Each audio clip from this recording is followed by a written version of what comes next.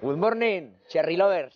¿Cómo? Que cherry lovers, amantes de las cerezas.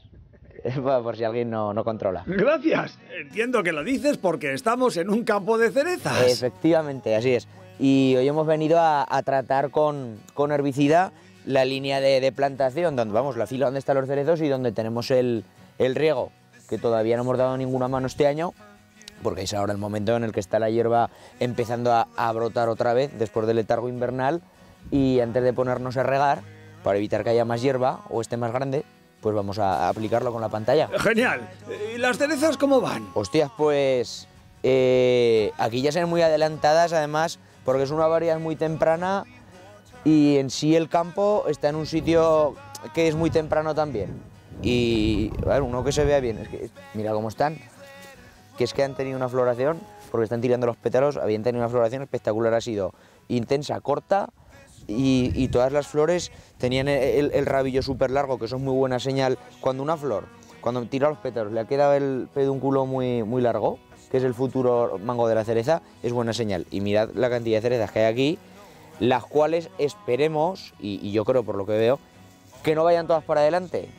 Y diréis, pero si lo bueno es que haya muchas, pero como todo, eh, daos cuenta que si ahora son así de pequeñas y están pretas, pues cuando se tienen que hacer gordas, como se ponen. Y para enfermedades y para todo es peor. Esta cereza tiene que hacer un calibre 30, 32 o 34, que es que estas se hacen muy gordas. Pues eh, tienen suficientes.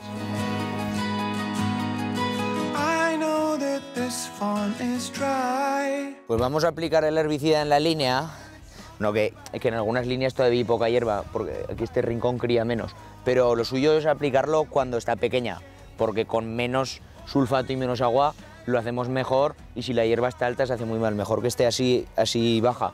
Y como veis es un sistema diferente al que utilizamos en el cereal, como vimos la última vez, estamos aplicando en campo abierto en cereal con una máquina grande de, de 12 metros, pero aquí en este caso tenemos que reducir esa zona de aplicación, pues hay gente que lo hace en 30 centímetros, otros en, ci- en 50 un poco. Esta pantalla es bastante grande, pero vamos.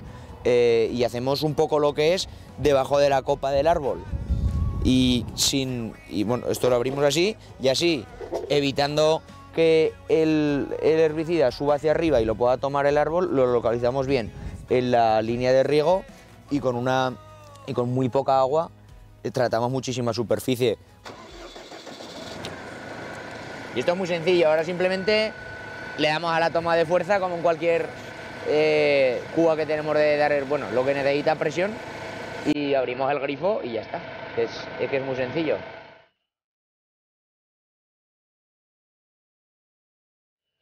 Aquí, aquí un producto que es glifosato, que es un herbicida total, que lo que toca nos lo va a eliminar, más un preemergente que es pendimetalina para evitar que no salga más hierba.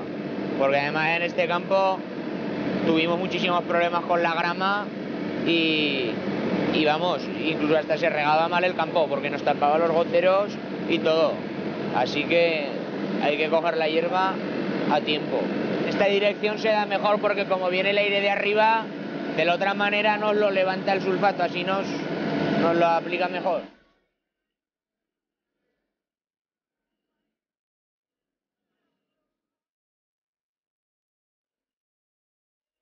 Vamos a tener que parar, ¿eh?